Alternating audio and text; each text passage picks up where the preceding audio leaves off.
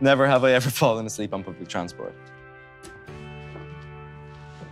Ah, What? what? You've never fallen asleep on public No, I don't. I don't nap. It's my favorite place to fall asleep. Really? What if you missed your stop? You, you don't, though. So how do you know when to wake up? Your body tells you. I think. What?